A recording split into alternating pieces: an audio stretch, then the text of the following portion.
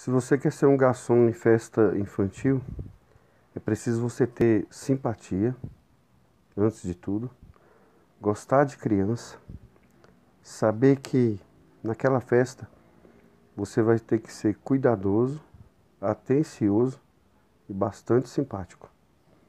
Porque lidar com criança é diferente do que você servir adulto. A criança ela te pede uma coisa e às vezes você vai buscar, quando você volta ela já está em outro lugar, você tem que, que ir atrás, né? E, e até brincar, até ser brincalhão também, porque é isso que se espera, né? Um garçom que vai estar tá ali no meio das crianças, sendo uma, uma pessoa que é agradável com todos, né? Muitas vezes as crianças vão para o pula-pula, vão para os brinquedos e os pais querem que você leve alguma coisa para elas, né? Nem sempre elas vão estar tá quietinhas num lugar só.